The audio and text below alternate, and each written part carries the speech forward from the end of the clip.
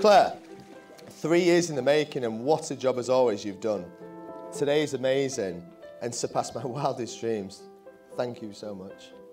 Who would have thought that on a sunny Easter bank holiday 13 years ago, not to be precise, but the 12th of uh, April 2009, where we would be today? We've done so much together. Six house moves, two amazing and handsome boys alongside a couple of sleepless nights. Thanks, Alfie and Harrison. Um, but all worth it though. We got engaged on another sunny day in 22nd of July 2012. I took you out on a lovely romantic walk, well in my head anyway, through a field in Calverley. I remember thinking, you turning around thinking, oh my God, what is he doing? Has he pulled his hamstring or something? what an embarrassment. I then brought out a ring and you changed your, your tact. You smiled at me then and asked you to marry me, and to my relief, you said yes.